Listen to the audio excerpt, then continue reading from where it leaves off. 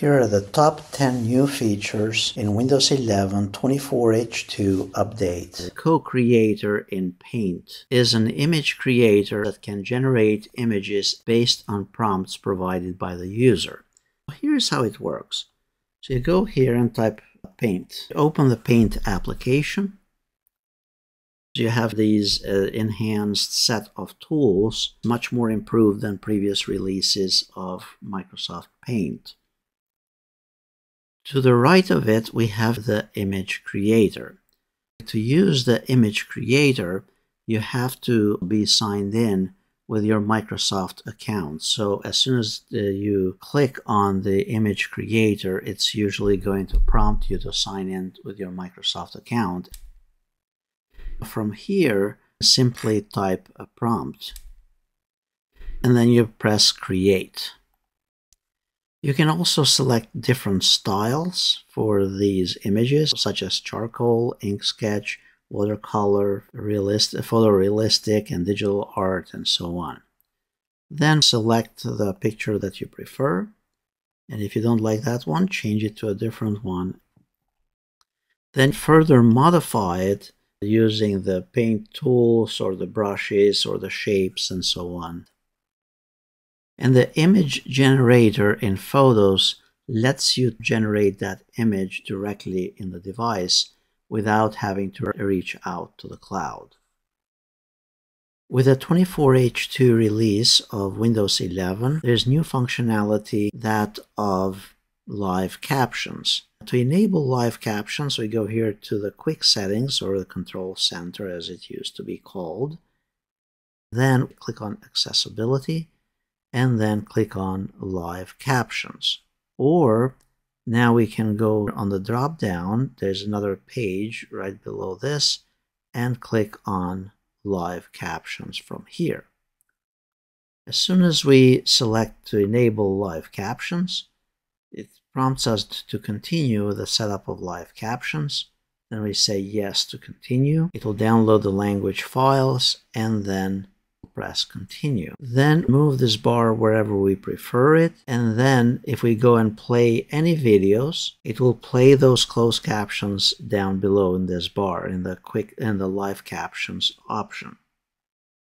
These closed captions are different from those of YouTube. Whatever content that is being played on the screen, it's transcribing it for us live. Now this applies to videos from your computer or content that you're playing from the web. Copilot in Windows 11. To access Copilot, click on this Copilot icon next to the search icon on the taskbar. And then if you're signed in with the work account, you'll be working through the cloud Copilot application. If you're using a personal account, then it will use the desktop version of the Copilot. So in my case, I'm going to click here on Go to Copilot for work. And at this stage, very similar to OpenAI for ChatGPT, here we can enter the prompt. So we want to create a marketing plan for an MBA online program. And then we simply click on submit.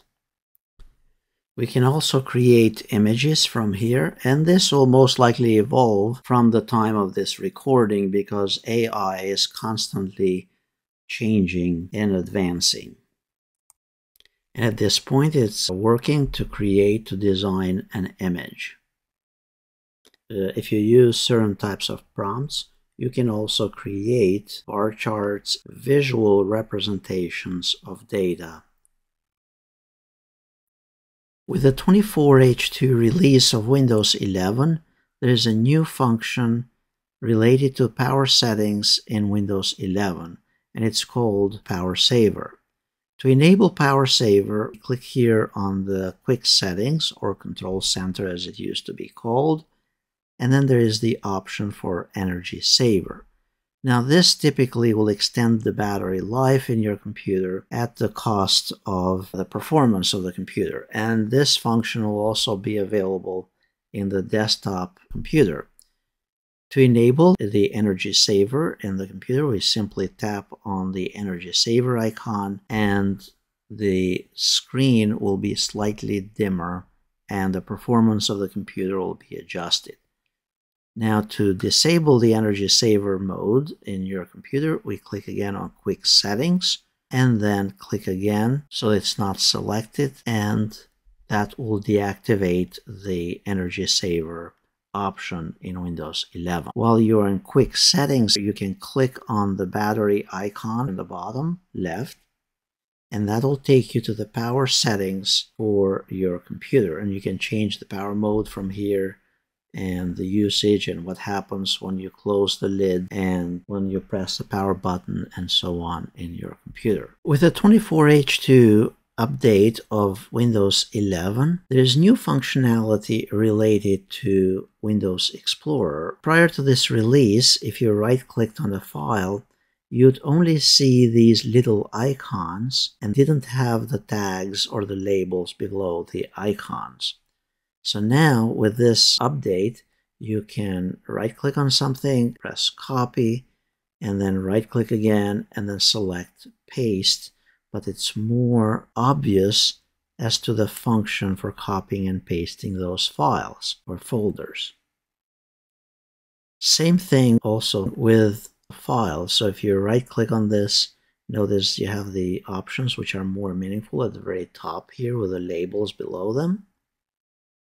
And then if you want to paste it, in this case, it's larger. And in the past, it used to be a tiny icon without the label below it. So you'd have to know what it was. Now, if you held the mouse on it, it will tell you what that icon stands for and also what the shortcut for it is. With the 24H2 release of Windows 11, Microsoft has introduced Voice Clarity, an AI powered microphone enhancement feature that will remove background noise when you're on a call or recording. So, to get to this, you need to go to Settings. And then once you're in Settings, it will come up with something similar to this. You'll need to click on System on the left then you go to sound and then select your microphone. Click on the arrow on the right hand side. And then you have the option here for the test. And also you have the option for the default microphone audio processing mode. Now this was a feature that was previously exclusive to Surface PCs with NPU's hardware, but now it's rolling out to all Windows 11 PCs. With the 24H2 release of Windows 11, there is new functionality related to creating 7-zip files and uncompressing 7-zip files. Prior to this release, you could actually extract 7-zip files, but you couldn't create them.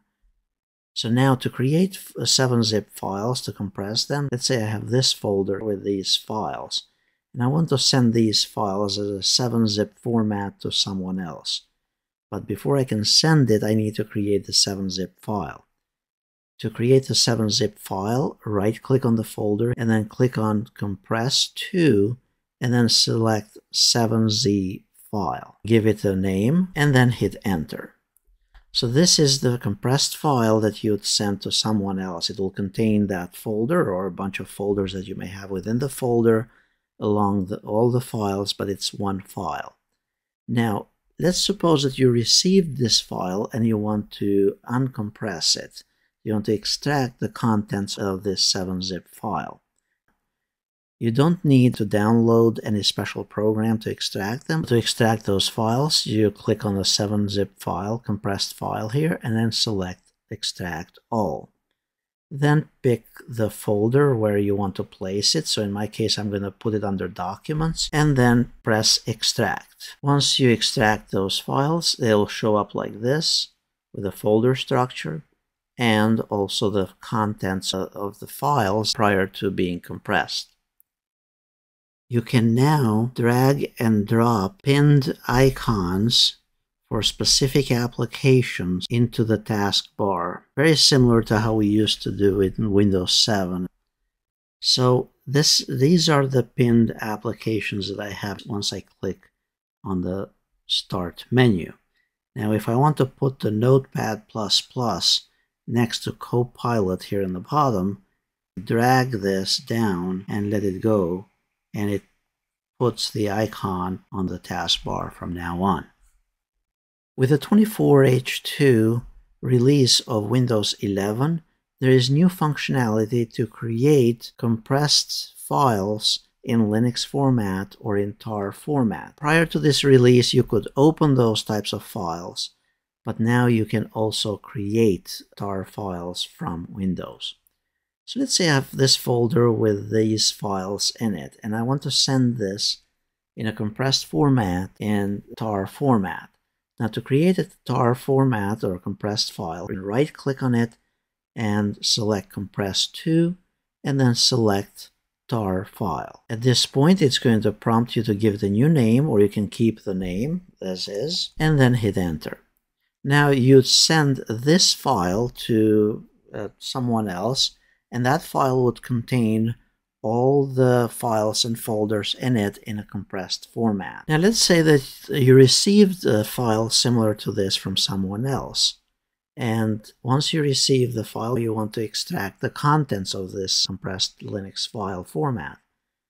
So then we click here on the file itself and then click on extract all. Then from here, create a new folder if you'd prefer, and then click on extract. This will contain all the files and the folder structure as prior to the compression from whoever sent it to you. So that's how you create compressed tar file and how you uncompress the contents of it. With the 24H2 release of Windows 11, Microsoft is making changes to the control center, the quick settings area.